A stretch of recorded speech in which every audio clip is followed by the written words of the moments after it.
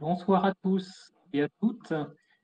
Bienvenue euh, en ligne pour cette nouvelle rencontre organisée par la Bibliothèque publique d'information. Euh, nous sommes ravis de pouvoir maintenir ces rencontres malgré la pandémie et le confinement. Et je remercie euh, d'entrée de jeu d'ailleurs toutes les équipes techniques de la Bibliothèque publique d'information qui travaillent d'arrache-pied pour maintenir ces rencontres. Alors, comme d'habitude, on va parler d'actualité euh, dans ces rencontres. Et ce soir, on va être particulièrement sur des questions d'actualité, puisque c'est vraiment un événement qui nous touche tous et toutes au quotidien, puisqu'on va parler de la pandémie euh, qui nous oblige à être confinés chez vous, euh, comme vous allez le voir avec tous les, tous les intervenants de ce soir. Alors, on va parler de la Covid-19, mais pas uniquement de la Covid-19, enfin pas précisément de la Covid-19, on va surtout parler de comment les euh, chercheurs, les équipes scientifiques s'organisent face à cette pandémie pour essayer de la faire reculer, comment on s'organise localement, nationalement, peut-être internationalement, euh, comment euh, aussi montrer aussi ce qui marche ou ce qui n'a pas marché dans, cette, dans cette organisation scientifique. et on va aussi parler médiation, puisque face aux rumeurs, aux fausses informations, il serait important euh, d'évoquer la manière dont on parle de cette maladie, en particulier euh, vers les publics les plus jeunes. Alors, je voudrais euh, remercier tout particulièrement nos partenaires de ce soir, que sont l'INSERM et l'Arbre des connaissances. Et puis, bien sûr, je remercie chaleureusement nos intervenants, France Maintré, Valérie Lallemand, Éric Dencio. La rencontre sera animée par Benoît Canton et je les remercie tous dans ce, cette période où je sais qu'ils sont tous mobilisés euh, à 200%, euh, d'avoir euh, pris, dégagé un peu de temps en tout cas pour être disponible ce soir et parler de, parler de leur métier, de leur recherche. alors bien sûr, vous pourrez poser des questions en direct via le chat de Facebook. Nous pourrons en prendre quelques-unes pour les poser directement à nos intervenants. Et Benoît, je vous présente puisque c'est vous qui avez animé cette rencontre. Donc, Benoît Tanson, vous êtes journaliste scientifique à The Conversation France et vous êtes responsable de la rubrique Science. Je, vous laisse la parole. Merci beaucoup et bonsoir à toutes et à tous. C'est à mon tour de vous euh, souhaiter la bienvenue pour cette rencontre en ligne. Euh, j'aurais aimé échanger avec vous de, visu, mais euh, ça sera aussi l'occasion de pouvoir dialoguer avec les personnes loin de la capitale. Donc bienvenue encore. Euh, la pandémie de Covid-19 nous a déjà appris beaucoup sur nous-mêmes, sur nos capacités de résilience et d'entraide, sur les limites en mettant en lumière, s'il le fallait, le travail extraordinaire des soignantes et des soignants. De leur côté, les scientifiques n'ont pas ménagé leurs efforts depuis l'apparition de la pandémie afin de la comprendre, chercher les traitements, les vaccins. Finalement, si la science a cumulé énormément de connaissances sur le virus en très peu de temps, on peut également s'interroger sur ce que la pandémie a appris à la science, sur son organisation, sa communication, sa rapidité, ses liens avec la politique et le grand public. Ce sera donc l'objet de notre rencontre. Pour répondre à mes questions, mais également aux vôtres, euh, j'ai à mes côtés France Montré, professeure de biostatistique à l'Université de Paris et à l'hôpital Bichat. Elle est la responsable méthode de l'essai Discovery. France Montré, bonsoir. Bonsoir. Un peu plus sur cet essai Discovery, s'il vous plaît. Oui, bien sûr. Donc l'essai Discovery est un essai dont le, qui a été promu par l'INSERM, qui s'est mis euh, très très rapidement en place. Et donc ça a été un travail extraordinaire de toutes les équipes, euh, surtout de Bichat au départ, pour très rapidement dans cette pandémie, qui à l'époque n'était pas encore une pandémie d'ailleurs, évaluer des médicaments qu'on dit repositionnés, c'est-à-dire des médicaments qui étaient développés pour d'autres pathologies infectieuses que la Covid. Et on a très très vite mis en place cette étude pour comparer ces traitements entre eux et aussi à une prise en charge optimale, mais sans traitement antiviral. Également avec nous, Éric Dortenzio, médecin et spécialiste en santé publique à l'INSERM. Éric Dortenzio, bonsoir. Bonsoir. Vous êtes le coordinateur du consortium Reacting. Euh, même question, pouvez-vous nous donner les grandes lignes de ce projet, s'il vous plaît? Oui, alors euh, le Reacting est un, est un consortium qui, qui, regroupe euh, diverses institutions de recherche françaises et des laboratoires d'excellence dans diverses disciplines.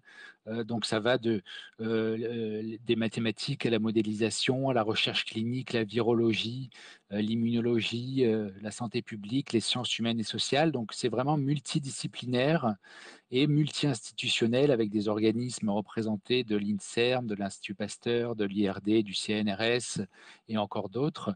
Et tous ces, euh, tous ces laboratoires euh, travaillent sur même, euh, le même sujet que sont les maladies infectieuses émergentes. Donc ce consortium Reacting existe depuis quelques années, depuis 2013, et a travaillé sur diverses épidémies de par le monde, telles que les épidémies d'Ebola, les épidémies de, de Zika, les épidémies de, peste et donc plus récemment euh, cette pandémie de, Covid.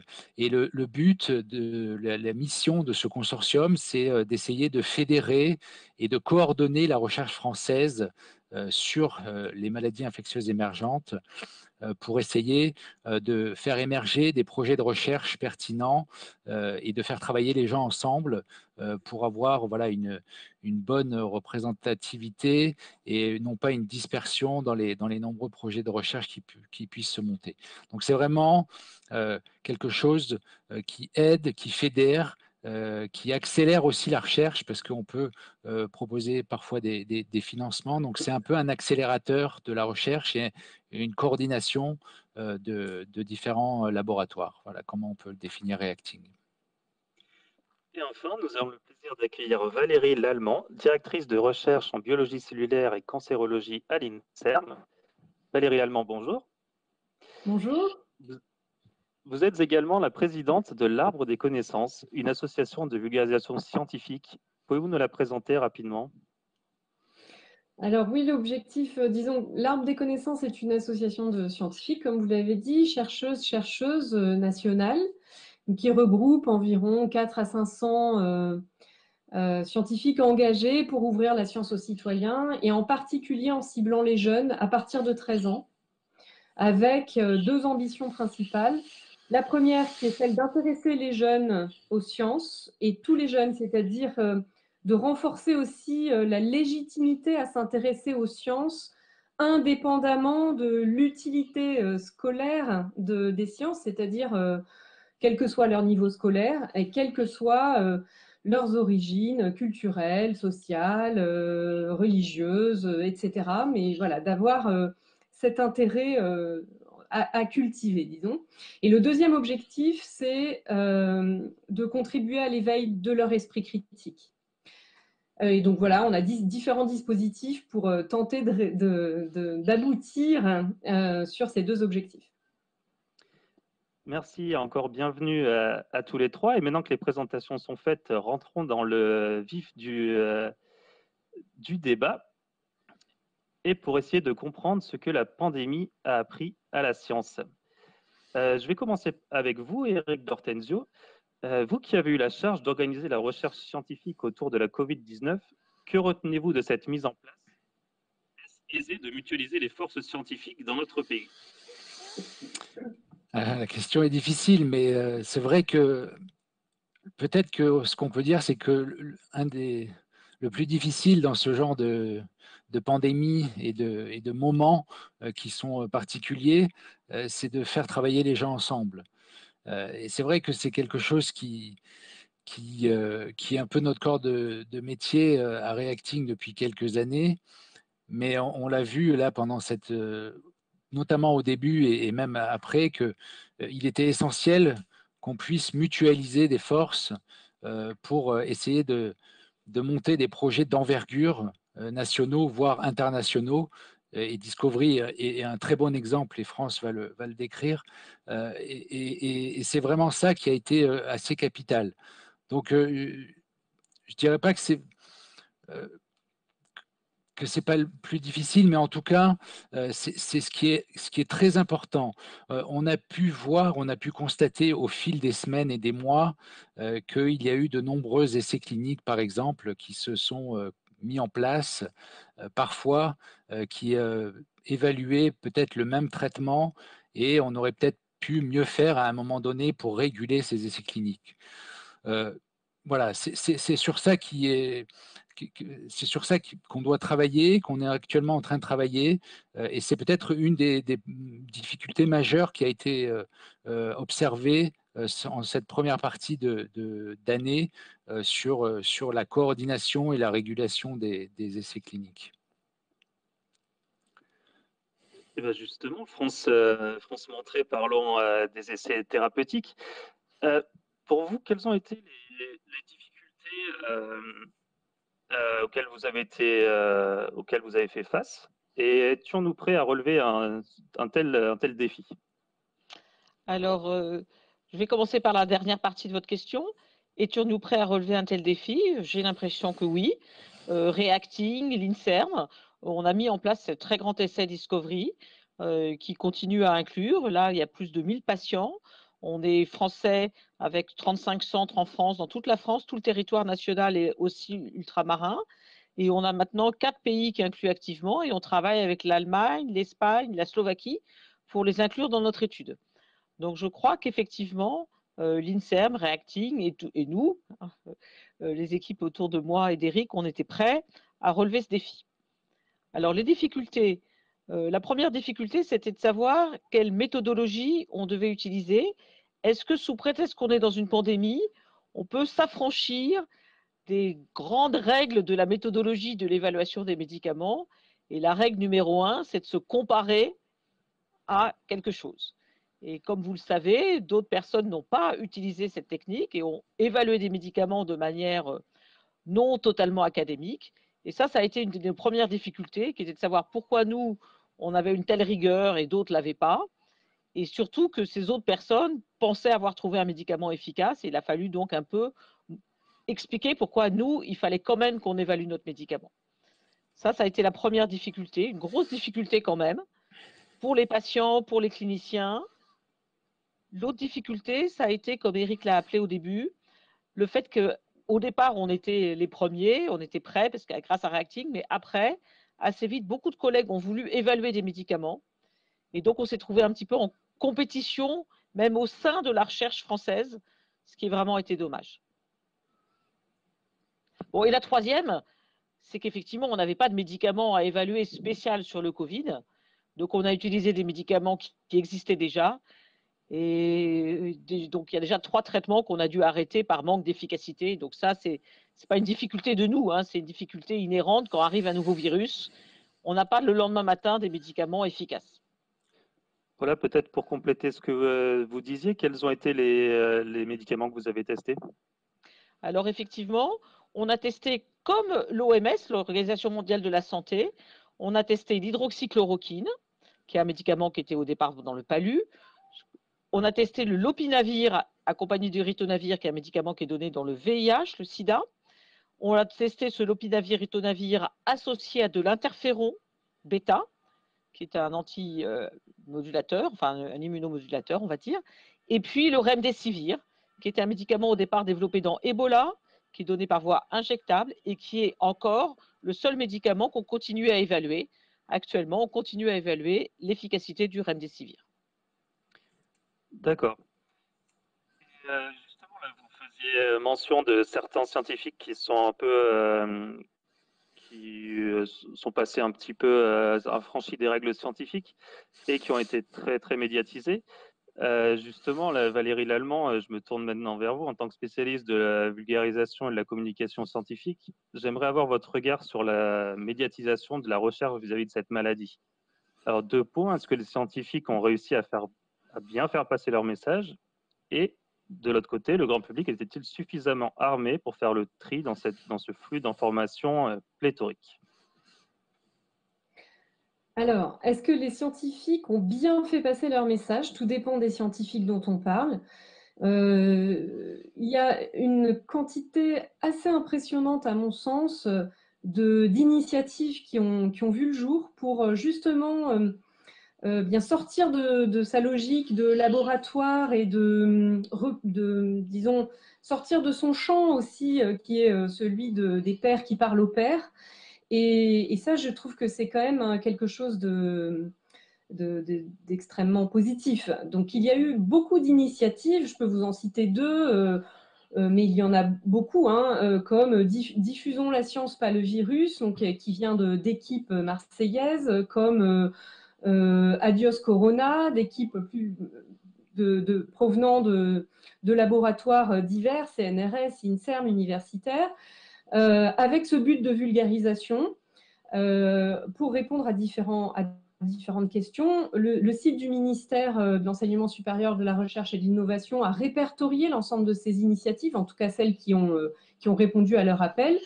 Par ailleurs, il y a les sites institutionnels, évidemment, la recherche de l'INSERM, la recherche du CNRS, d'autres des universités, les régions. Euh, donc, je crois que côté scientifique, il y a eu beaucoup de choses qui ont en tout cas essayé euh, d'émerger pour faire comprendre euh, la recherche en cours.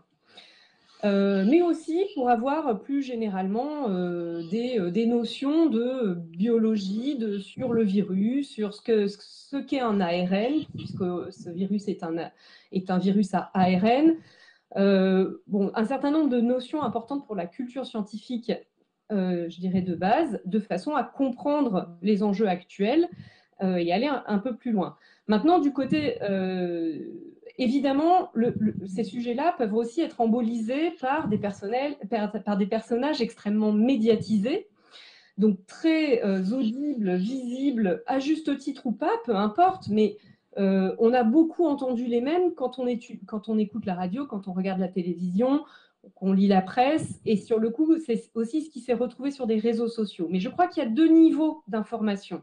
Il y a l'information scientifique qui est accessible euh, à, des buts, je dirais, de vulgarisation pédagogique euh, par divers acteurs de la recherche qui ne sont pas forcément ceux qui sont très médiatisés. Et puis, il y a des grandes figures.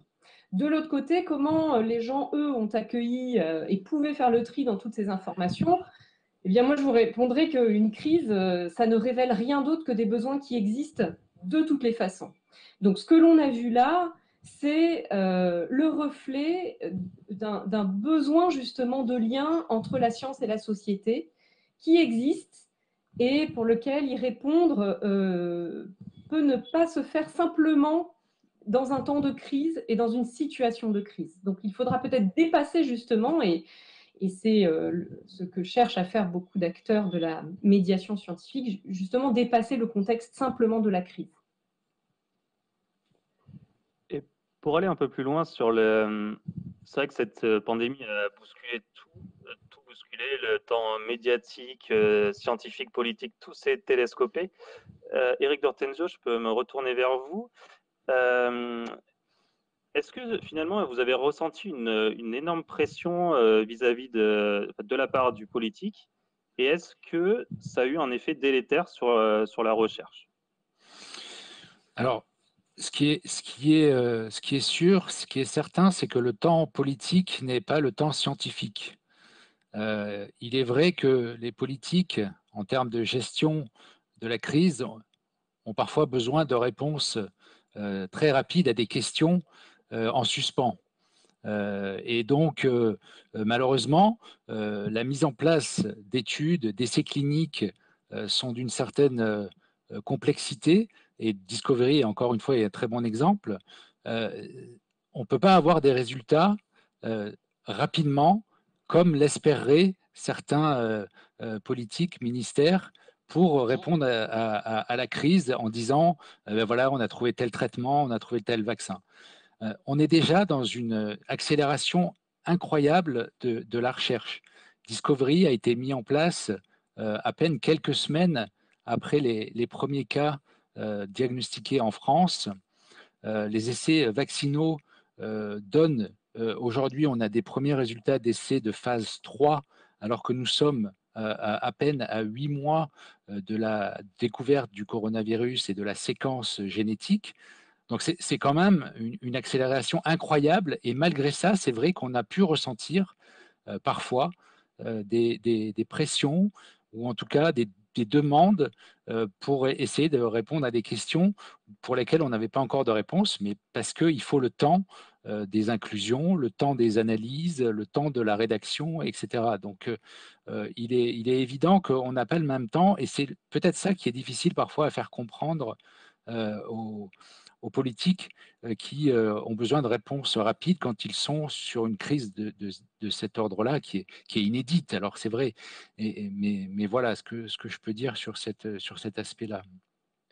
France Montré, j'aimerais votre, euh, votre avis aussi sur cette même question. Alors vous qui étiez sur les, euh, qui cherchiez un traitement, là, vous avez dû être soumis à une pression euh, colossale.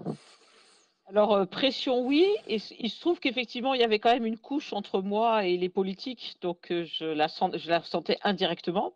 J'étais un peu préservée à ce titre-là, mais pression, oui, parce qu'effectivement il fallait que Discovery trouve un traitement euh, très rapidement et surtout il y avait des personnes qui disaient que Discovery donnerait des résultats très rapidement. Euh, je dois dire que si un traitement avait très très bien marché, enfin avait sauvé 100% euh, des vies, c'est sûr qu'on l'aurait vu très très rapidement. Mais dans l'histoire des maladies infectieuses, je crois qu'on n'a jamais trouvé en deux mois un traitement qui sauvait 100% des vies. et donc effectivement, il y a eu peut-être un espoir comme ça de personnes qui se sont dit ah ben voilà, on va le trouver très rapidement. Donc c'est sûr qu'il y a eu cette pression politique, il y a eu des découragements de la part de l'équipe, il y a eu des découragements aussi des médecins investigateurs, parce que c'est des médecins hein, qui incluent des patients dans les études et qui évaluent les traitements, puisque chacun y allait un peu de moi je crois en A, moi je crois en B, moi je crois en C. Et donc effectivement, des difficultés par rapport à cette différence de temps de, perception, comme l'a très bien dit Eric, le temps de la recherche ou le temps de l'évaluation, de l'évaluation de médicaments, de l'évaluation de vaccins, par rapport au temps, et qu'on comprend bien des politiques qui doivent prendre en charge une population euh, qui s'infecte de plus en plus. Je reste avec vous. Euh, justement, là, le, but de notre table ronde, c'est de savoir ce que la pandémie a appris à, à la science. Si là, il fallait tout recommencer, etc., est-ce que vous feriez des choses différemment euh, Quel est euh, votre point de vue là-dessus? Alors, si on parle encore une fois de, ce que, mon expérience, qui est sur l'essai de l'évaluation pardon de médicaments, euh, il y a un grand exemple qui est quand même l'exemple de l'Angleterre, où eux, ils sont partis beaucoup plus, j'allais dire, de manière militaire. Ils ont fait qu'une seule énorme, énorme étude, et ils ont déjà produit plus de résultats, j'allais dire, que ce que la France a produit. Euh, en centralisant. Et je crois que c'est ce que disait Eric. Euh, nous, on a laissé euh, les chercheurs et les scientifiques évaluer différents projets. Et à un moment, il y a eu trop d'essais cliniques en France. Il y avait plus d'essais presque que de, que de patients ou de centres. Et donc, je pense qu'il y avait l'absence d'un organe régulateur. Mais justement, je crois que la pandémie a appris ça. Et Reacting, l'INSERM, le ministère de la Santé, le ministère de la Recherche sont en train de mettre en place ce fameux, une nouvelle agence qui sera plus régulatrice pour mieux prioriser à quelles questions on veut répondre. On ne peut pas, on n'est pas un très grand pays, on est un très grand pays, mais pas si grand, répondre à trop de questions à la fois et évaluer trop de médicaments à la fois. Et je pense que ça, ça a été une erreur. D'accord, et c'est peut-être ça qui euh, aussi n'a pas été bien compris par le, grand public. Donc Valérie Lallemand, là, je me retourne euh, vers vous. Et euh, j'aurais aimé votre point de vue sur comment on arrive à mieux faire passer des notions de controverse scientifique, en fait, parce que j'ai l'impression que cette crise a aussi montré une certaine méconnaissance de la démarche scientifique chez le, chez le grand public. On a un peu confondu controverse et débat. Est-ce que vous pouvez nous éclairer là-dessus, s'il vous plaît? Oui, alors tout à fait. Je crois que sur le temps, dans le temps de la recherche, en fait, on, doit inclure justement la notion de controverse scientifique. Dans le temps de la recherche, il y a euh, globalement deux grandes étapes. La première qui est, pour ce qui est de la démarche pour la recherche expérimentale, mettre son idée, son hypothèse à l'épreuve d'une expérience qui nous permettra de déterminer l'exactitude d'une proposition ou son inexactitude. Mais le deuxième temps qui est tout aussi important, c'est euh, l'adhésion par les pairs. Et qui dit adhésion par, par les pairs dit euh, eh bien aussi d'être euh, challengé par nos pairs, d'être, comment dire, d'avoir un regard critique de nos pairs sur notre recherche en cours. Et ce n'est que lorsqu'on a achevé ces deux étapes, donc quand on a répondu à un certain nombre de questions de nos pairs, que l'on peut véritablement produire collectivement un, nouveau savoir scientifique. Et tout ça, ça prend du temps. Et donc, dans, le, dans ce qui s'est passé, enfin, ce qu'on a pu voir, c'est qu'il y avait un mélange finalement de cette perception de la controverse scientifique euh, qui est euh, tout à fait, normale. Peut-être qu'elle a pris, évidemment, d'un point de vue médiatique, beaucoup de place, mais néanmoins, encore une fois, elle fait partie du processus. Et un mélange avec justement la notion de décision politique qui a été évoquée et qui est là de l'ordre du débat public, c'est-à-dire comment, en tant que citoyen, quel impact euh, ces, différentes, comment dire, ces différents résultats de la recherche peuvent avoir dans ma vie euh, dans, dans, mon quotidien, et on l'a vu à différentes échelles. Et là, on passe au niveau du débat public. Mais il y a une confusion énorme entre les deux. Et, précisément, pouvoir bien pouvoir distinguer ce qui est la démarche scientifique du débat public est un des enjeux de, l'arbre des connaissances. Hein. Et pour cela, on, a deux grands dispositifs. le premier, qui s'appelle Apprenti-chercheur, où on met au contact euh, des, élèves du secondaire euh, en binôme avec euh, des chercheurs sur une année scolaire pour réaliser un programme de recherche, un petit projet de recherche. Ça s'articule par des partenariats entre des centres de recherche et des établissements scolaires de proximité.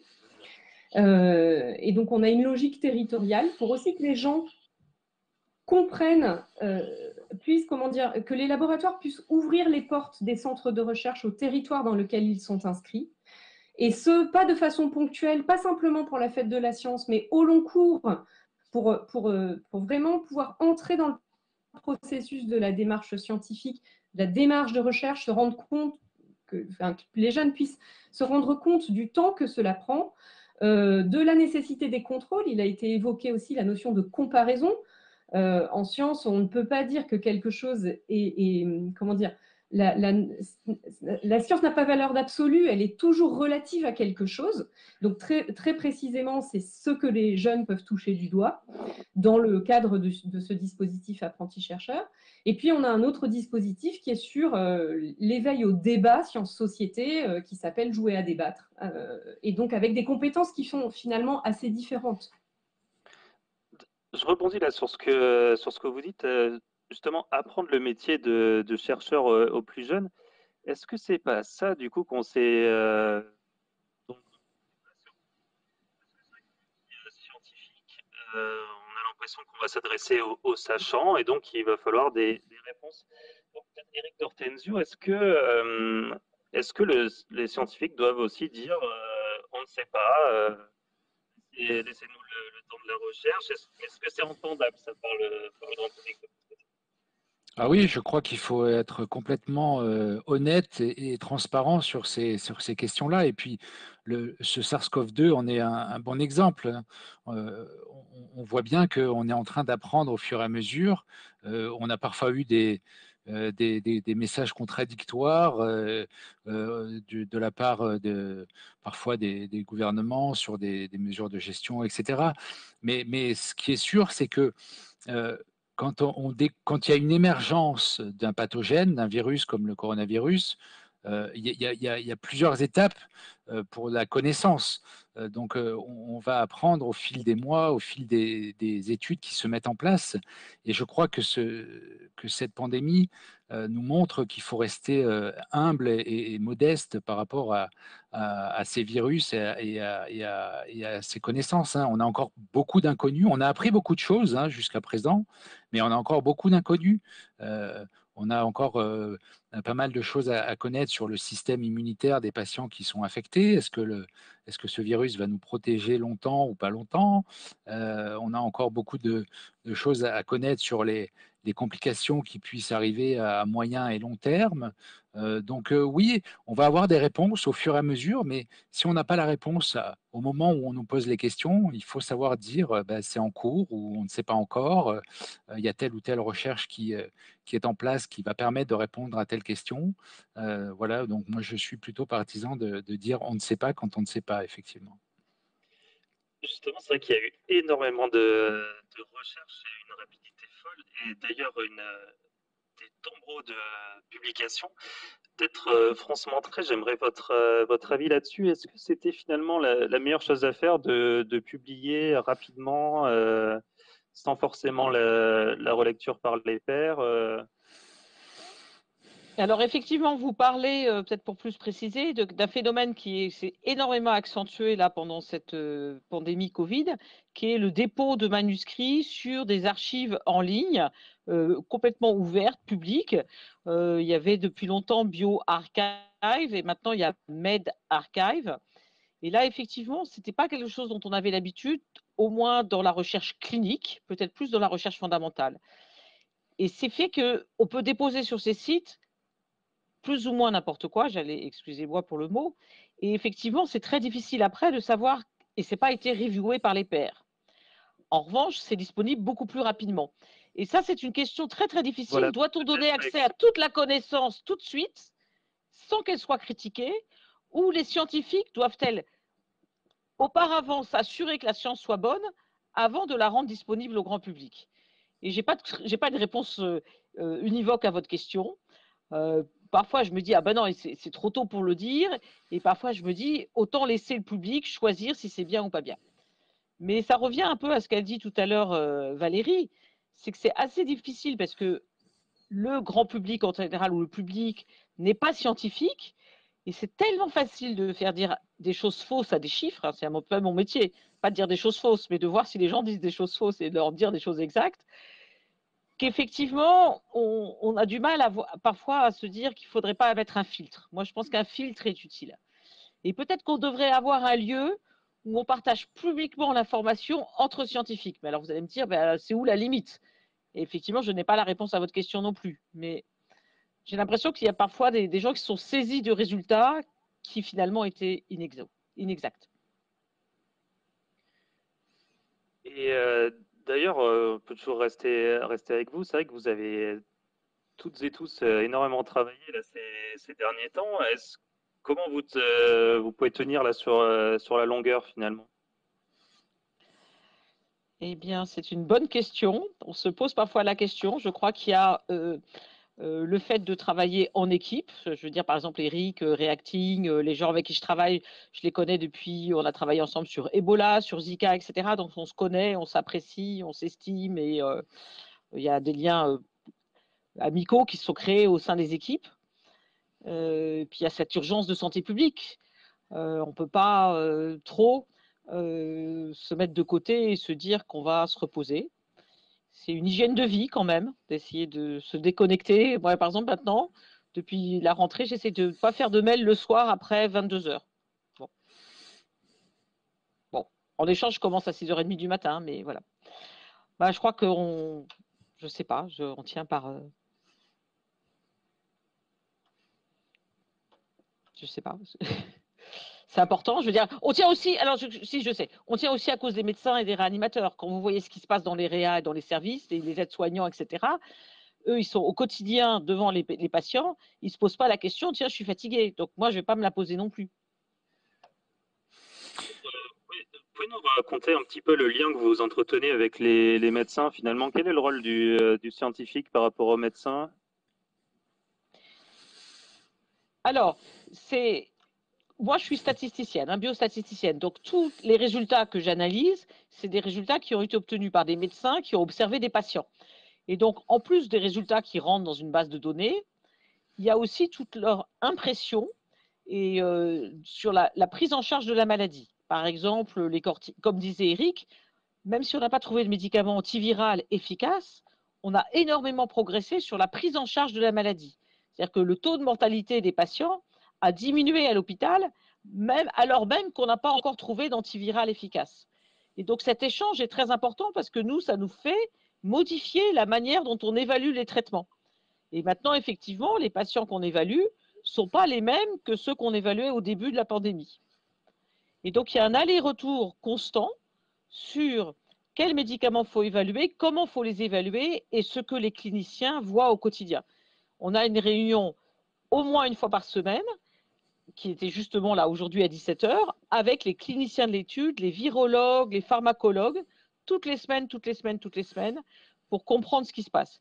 Et au début de l'essai, on avait une réunion tous les jours à 17h, week-end compris. Pendant tout le mois de mars, c'était tous les jours, mois d'avril, trois fois par semaine, etc. Un échange constant avec les médecins, réanimateurs, virologues, pharmacologues, statisticiens. Eric, peut-être que vous voulez. Euh, oui, je, voulais peut-être compléter par rapport à ce que dit France, euh, que ça se passe euh, au sein des hôpitaux, ces échanges qu'elle vient décrire, mais ça se passe aussi également au sein de, de, Reacting que je vous ai expliqué en deux mots tout à l'heure, mais on, on, a plusieurs groupes de travail au sein de Reacting. Et justement, ce qui est très important, c'est de, de, rassembler euh, des, gens de différents horizons. Donc, les cliniciens qui prennent en charge les patients, euh, les virologues qui font euh, le diagnostic, les immunologistes qui vont regarder la réponse immunitaire, etc. Et donc, de, rassembler ces gens-là sur une thématique, par exemple sur la question de la thérapeutique, sur la question de la transmission du virus, sur différents voilà, sujets d'un pour lesquels il y a encore des questions, de les, de les mettre ensemble, euh, qui puissent échanger euh, leurs avancées sur leurs projets. Et parfois, il y a des liens qui peuvent se créer. Ça peut créer aussi euh, l'émergence d'un nouveau projet sur une question inattendue. donc, c'est vraiment très important de, voilà, de rassembler ces gens de différents horizons. Et c'est ça qui crée en fait la force ensuite de la recherche scientifique, je dirais. Moi, j'aurais aimé aussi euh, parler de justement de comment on peut communiquer euh, toutes ces informations au plus, au plus jeune public. C'est-à-dire là, ils sont retournés à l'école, on leur demande de mettre des masques, etc. Peut-être qu'ils comprennent pas très bien tout ce qui se passe. Valérie Lallemand, vous qui, qui avez plus l'habitude de ces questions, aider le jeune public justement à comprendre ce qui se passe Alors pour, le, pour le public jeune, il y a un véritable enjeu qui est évidemment celui, euh, celui de l'éducation, de l'éducation aux sciences. Donc encore une fois, notre, notre façon d'agir, nous justement, c'est pas de courir après la crise en permanence pour répondre aux questions de crise. Donc évidemment, je suis là avec vous, vous allez dire bah, pourquoi vous êtes là alors? Bah, Parce que précisément, euh, ce qu'une crise révèle, encore une fois, comme je le disais euh, précédemment, ce sont des besoins constants qui existent. le besoin qui existe, c'est un, de bien comprendre la démarche scientifique, de comprendre la distinction entre la science, la médecine, euh, l'usage de la science à des buts euh, thérapeutiques, euh, technologiques, etc. Et de comprendre toutes ces distinctions permet aussi de mieux comprendre, comment dire, comment la, la enfin, quels sont les différents degrés euh, de pénétration de cette science dans notre, dans notre quotidien et en même temps de comprendre concrètement pourquoi ça avance pas aussi vite, pourquoi, euh, pourquoi est-ce qu'on me demande de porter un masque, pourquoi ceci, pourquoi cela. Alors, il y a vraiment la méthode euh, qui est très importante.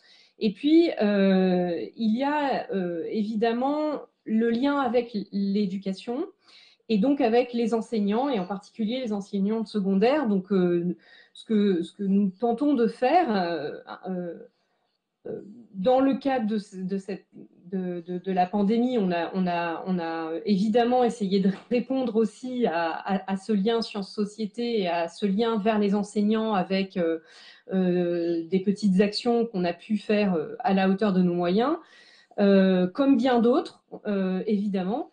Mais surtout, ce que l'on essaie de faire, c'est de rapprocher euh, des enseignants et des scientifiques, et aussi euh, d'un troisième, je dirais, troisième acteur qui est celui du milieu euh, culturel. Donc, c'est aussi ce qui, fait qu'on est aujourd'hui à la bibliothèque du, centre, à la bibliothèque publique d'information. eh bien, c'est précisément parce que la science a aussi un rôle à jouer et à sa place dans des lieux culturels. Euh, et donc, ce sont aussi ces publics-là, je dirais qu'il faut, euh, on parle souvent des publics et pas du public. Il y a les jeunes, mais il y a les enseignants et euh, les professionnels de la culture. Et donc, c'est aussi ces gens-là qu'il faut pouvoir toucher et avec lesquels il faut pouvoir échanger. Je ne vais pas être trop longue dans mes réponses, donc dites-moi si j'ai répondu à votre question. C'est parfait, merci. Je, sur ces questions de communication scientifique, euh, tous les deux, Eric, euh, Eric Dortenzio et François Montré, vous avez vous avez dû communiquer beaucoup, j'imagine. Est-ce que vous vous sentiez justement prêt à le faire? Comment ça s'est passé pendant cette première vague et maintenant cette deuxième vague? Est-ce que vous sentez qu'il y a des différences dans le traitement médiatique? Comment vous êtes reçu par les journalistes? Peut-être Eric pour commencer bah, préparé, je crois que non, on n'était pas vraiment préparé, hein, mais c'est vrai que c'est une question après d'expérience et, d'habitude. Alors les, premières fois, c'est pas pas évident et euh, euh, on, apprend en marchant, je dirais. Mais euh, ce qui est important dans ces moments-là, c'est-à-dire ce que disait Valérie, il faut il faut être voilà, il faut essayer d'avoir un message le plus clair possible et le plus explicatif, je dirais, pour, pour essayer de faire comprendre ou de faire passer un message à, la majorité d'entre d'entre nous euh, sur, des, sur des résultats scientifiques. Alors, euh, est-ce que ça a changé entre aujourd'hui et, et, au début? Je pense, parce qu'on a vu que finalement, il y avait il y avait certains, certains scientifiques qui ont un peu monopolisé, ou en tout cas qui étaient très régulièrement invité sur les plateaux. Euh, maintenant, euh, c'est vrai qu'il est, il est quasiment normal d'inviter un scientifique ou un médecin pour parler de, la pandémie. Euh, c'est quelque chose qu'on n'avait pas, n'avait pas avant, avant Covid. Hein. C'était rare qu'on soit invité sur les plateaux, sauf crise exceptionnelle ou pour parler d'une pathologie particulière, etc. Donc, oui, ça a changé, c'est sûr. maintenant, malheureusement, je crois que la communication des, scientifiques n'a pas toujours été bonne, il faut le dire. Euh, voilà, ça s'apprend, hein, c'est un métier aussi, je pense. Euh, il faut qu'on s'améliore tous, que ce soit les scientifiques, peut-être aussi les, euh, les journalistes scientifiques, les journalistes grands médias, les chaînes d'information, etc., pour voilà, avoir sur des plateaux des, des gens pertinents et qui vont annoncer des ou, faire passer des messages qui sont euh, compréhensibles et qui sont euh, euh, cohérents avec avec les résultats. voilà. Est-ce que des France Montré, est-ce que des mauvaises communications, ça peut avoir des impacts sur la recherche Je pense sur les traitements notamment? Alors, euh, déjà, juste pour rebondir sur ce que disait Eric, effectivement, on n'était pas préparé. Enfin, moi, j'avais jamais eu cette occasion. Et d'ailleurs, assez vite, je me suis aperçu que c'était pas l'endroit où j'étais euh, à l'aise, euh, ni bien, ni communiquer clairement. Et donc, j'ai accepté votre invitation aujourd'hui parce que c'est un lieu où on échange et c'est la Banque publique d'information. C'est pas, pas BFM TV. Peut-être que j'aurais pas dû droit de dire ça, mais voilà. donc, effectivement, je me suis mis assez, elle s'est mis vite en retrait euh, d'endroits comme ça très médiatiques et tout où on vous fait dire ce que vous voulez pas dire. Enfin voilà, on peut pas discuter vraiment. Ça, c'est la première chose. Effectivement, bien sûr que des communications inappropriées sont très délétères, que ce soit pour les traitements, mais que ce soit aussi pour euh, la prévention, le port des masques, euh, le respect du confinement, etc. Enfin, toute information scientifique non validée, surtout affirmée de manière péremptoire, et délétère pour la science, mais aussi pour la société et pour la santé publique. Donc oui, la communication faite par des scientifiques, et alors c'est là que c'est assez difficile de savoir qui est un scientifique, qui ne l'est pas. et, effectivement, parfois, euh, tout et médecin... Où est son expertise aussi? Voilà, et où est son expertise? Et qui est là pour dire, attendez, ça c'est pas vrai, où ça c'est vrai. Et on voit bien que les communautés scientifiques, je pense par exemple les communautés de gens de maladies infectieuses, c'est difficile qu'ils se régulent entre eux en disant attendez, arrêtez d'écouter celui-là, mais vous devriez écouter celui-là. Les gens ne peuvent pas faire ça. Et on n'est pas prêt à faire ça. Et, euh, donc ça, c'est assez compliqué. Justement, c'est peut-être quelque chose qu'on aura appris de cette pandémie. Est-ce que euh, tous les trois, vous voyez des, solutions justement pour euh, arriver à avoir un message concordant, euh, c'est sûr que ça, serait le rêve, mais peut-être Valérie, Valérie Lallemand. Oui, sur la notion de débat, je pense que c'est tout ce que vous dites, c'est extraordinaire, ce que c'est euh, euh, France et Eric, c'est exactement pour ça qu'on a, enfin exactement, en partie pour ça qu'on a construit le dispositif Jouer à débattre. le, dispositif Jouer à débattre, en un mot, ce sont des supports pédagogiques d'initiation au débat pour des jeunes à partir de 13 ans qui s'articule autour de jeux de rôle pour les jeunes, pour motiver et pour faire comprendre des enjeux d'une question sur société précise. des guides pour un animateur, de façon à ce que justement on puisse aussi outiller celui qui modère le débat euh, et troisièmement, euh, des ressources et potentiellement des rencontres et des ressources qui sont euh, à noter, etc. Et pourquoi on l'a construit aussi pour ce que vous avez précédemment cité? Eh bien, parce que dans, dans, le conseil d'administration de Jouer à débattre, il y a des, personnes qui ont beaucoup pratiqué, si je peux parler ainsi, le débat public et notamment les conférences de consensus différentes formes de débat qui existent et euh, qui euh, ont amené au constat il y a un certain nombre d'années, hein, au tout début des conférences de consensus sur les OGM par exemple, pour, euh, pour, pour citer cette personne de, de, notre CA qui, qui nous témoignait cela, eh bien, il s'était rendu compte que finalement, il y avait une vraie difficulté à savoir faire face à une question qui vient de Mars quand vous, vous travaillez sur la fourmi. Et donc, euh, ça, effectivement, ça s'apprend. Et effectivement, il faut savoir commencer par euh, euh, bien déterminer quel est mon périmètre et, ce que je vais pouvoir dire, ce que je ne vais pas pouvoir dire. je rebondis aussi sur le je ne sais pas, qui est très important, mais qui n'est pas, pas suffisant. Parce qu'on ne sait pas, mais on sait quelque chose. Donc c'est là où on peut arriver à dire ce que l'on ne sait pas, tout en donnant une information, parce que la personne en face, quand elle est euh, profane, si je peux m'exprimer ainsi, elle peut être tout à fait experte d'une autre partie de la science qui n'est pas la nôtre, mais pour autant avoir un besoin de culture générale scientifique que l'on aura et qu'on pourra euh, lui donner. Si je donne un exemple avec euh, la musique classique, si vous êtes spécialiste de Bach, vous êtes quand même capable de parler de musique en général, même si on vous parle de musique classique et vous, vous êtes plus sur la, sur la musique baroque. Vous voyez ce que je veux dire? C'est voilà, on a des choses à dire, il faut pouvoir savoir se positionner.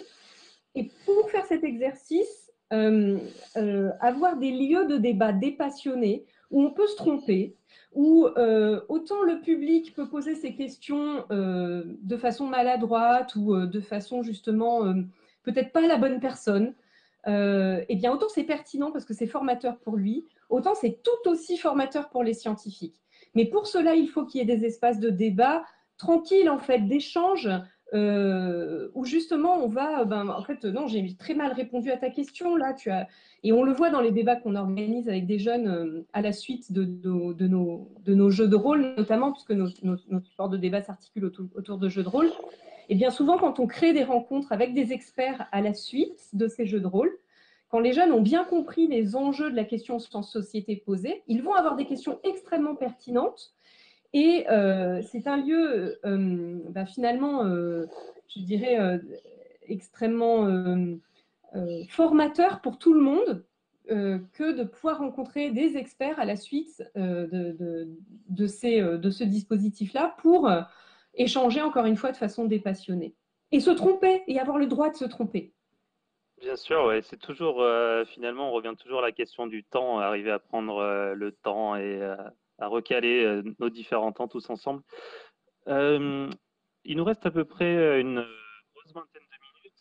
J'aimerais prendre les, des questions, les questions du public. Mais avant, on va faire un tout dernier tour de table pour essayer de, répondre à cette fameuse question euh, qui nous anime ce soir. Qu'est-ce que la pandémie a appris à la science? J'aimerais peut-être un, avis général. Euh, Eric Dortenzo, qu'est-ce que ça, qu'est-ce que ça vous évoque cette, cette grande question-là? Bah, moi, je l'ai dit tout à l'heure, je crois que cette pandémie nous a appris à, être modestes et humbles face à une émergence de virus euh, comme celle-ci. C'est-à-dire que euh, il, faut mener des, recherches euh, en bonne et due forme au fur et à mesure qu'on avance avec la pandémie. mais voilà, il faut, il faut s'entourer de, des meilleures équipes pour monter les meilleurs projets et, il faut communiquer le plus approprié, de, façon, de la façon la plus appropriée possible envers, le, envers le public. il faut pas il faut essayer de ne pas voilà, s'exciter autour de certaines questions pour lesquelles on n'a pas de réponse et, attendre les, résultats des recherches. Donc, je dirais qu'on a appris que la communication était un enjeu majeur autour d'une pandémie, vraiment. voilà, ça a été plutôt mal fait jusqu'à présent de la part de toute notre communauté, etc. Donc, il y, a vraiment des, progrès à faire et on y travaille.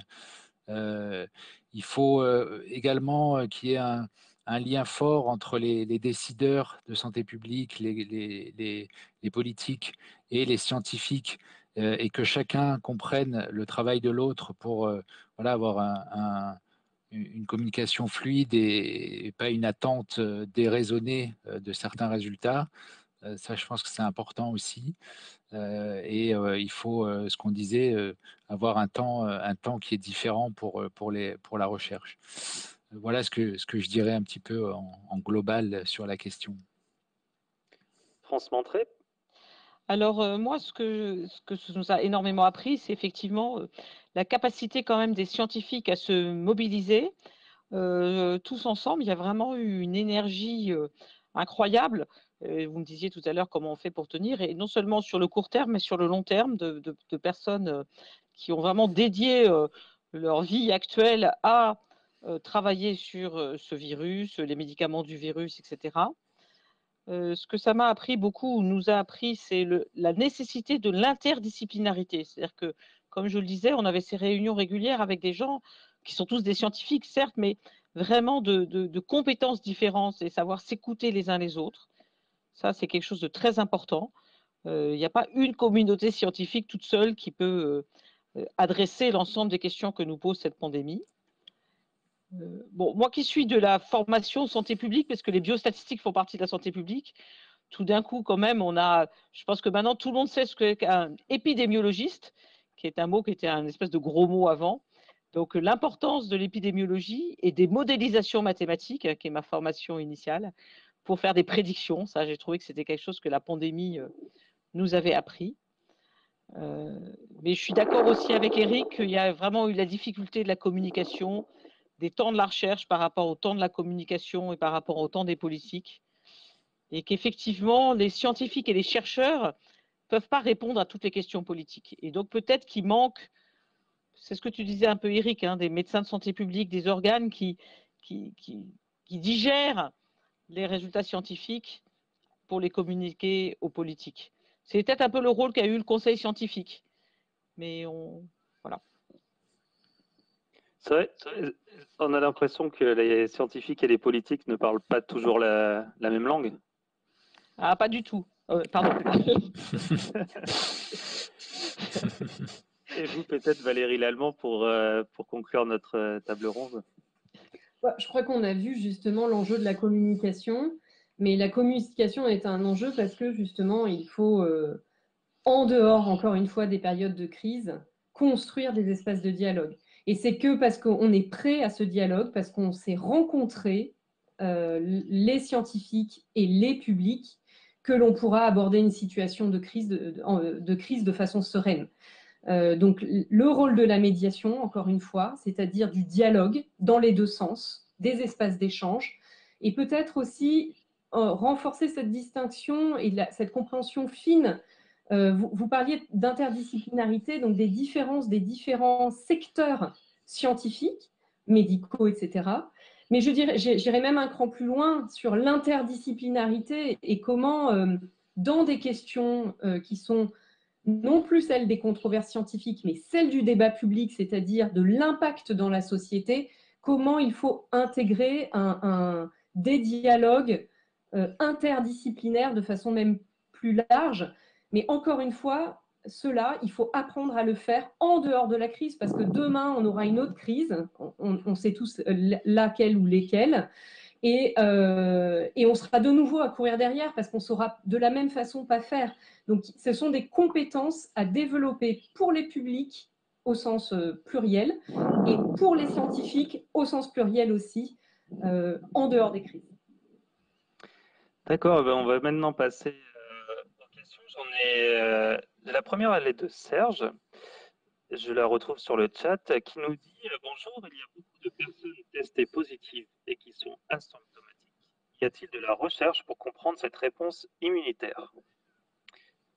Eric Tortenzio, peut-être? Bah, alors oui, c'est vrai que c'est un, sujet majeur puisqu'on considère, alors on n'a pas des chiffres exacts hein, sur la proportion d'asymptomatiques euh, dans cette maladie, mais suivant les études, on a une fourchette entre 20 et 50% de personnes qui seraient sans symptômes, mais qui auraient été infectées par le, par le virus. Alors effectivement, ça pose des questions sur la réponse immunitaire. et c'est un des sujets qui est actuellement en cours. donc, il y a beaucoup d'études sur le, système immunitaire, la réponse T, la réponse B, les anticorps neutralisants, etc. Donc oui, on commence à comprendre un petit peu la, la, réponse immunitaire et sur le sujet des asymptomatiques, il y a des études en cours euh, mais voilà, donc on n'a pas de résultats pour expliquer pourquoi certains font des formes asymptomatiques alors que d'autres font des formes plus symptomatiques ou voire sévères. Il y a quelques pistes. Il y a probablement, c'est probablement multifactoriel. Il y a probablement des facteurs liés à l'hôte, liés au virus, peut-être des facteurs génétiques. voilà, donc c'est en cours. On n'a pas de réponse arrêtée, mais voilà, il y a des pistes. Non, je voulais juste dire qu'effectivement, donc sur le travail sur la réponse immunitaire, il y a effectivement des pistes génétiques, des pistes immunologiques, mais je voulais aussi rappeler que, en fait, au départ, la recherche s'est focalisée sur les patients hospitalisés et que la recherche sur les patients dits ambulatoires ou en ville est beaucoup, beaucoup plus difficile à organiser et moins habituelle. Et alors en particulier chez les patients asymptomatiques, parce que c'est très difficile de les trouver, puisque par définition, ils n'ont pas de symptômes. Donc, je pense qu'on a pris un, pas un retard, mais c'est une des leçons que nous a appris peut-être aussi cette pandémie, c'est qu'il ne faut pas que travailler sur les patients hospitalisés, qui sont très importants, parce que ce sont ceux qui sont graves et ceux qui vont mourir, mais qu'effectivement, tout le volet de la recherche sur les patients pas graves est très important et est en train de se mettre en place. Une deuxième question de Marie, cette fois-ci. Y a-t-il d'autres virus qui donnent autant de personnes asymptomatiques? Et pour aller plus loin, est-ce une stratégie du virus pour se propager, s'étendre plus facilement? Qui est-ce qui se sent de répondre alors, s'il y a d'autres virus qui donnent autant de personnes asymptomatiques, la réponse est oui. Il y a beaucoup de virus, euh, que ce soit des virus à transmission euh, aérienne, voire des, virus à transmission vectorielle. J'ai un exemple comme la dengue, par exemple on a des fourchettes de personnes asymptomatiques qui peuvent aller jusqu'à 60-70%. Donc oui. maintenant, est-ce que c'est une stratégie propre du virus pour se propager? C'est une bonne question. Euh, mais je crois que la, réponse est beaucoup plus complexe et elle rejoint un peu ce qu'on disait tout à l'heure sur le multifactoriel et, pourquoi euh, certains font des formes euh, sévères, modérées, mortelles ou, asymptomatiques. Donc c'est un enjeu voilà, de, réponse immunitaire qui est différente et c'est encore vraiment pas bien compris dans la plupart des, pathologies avec des formes asymptomatiques prépondérantes.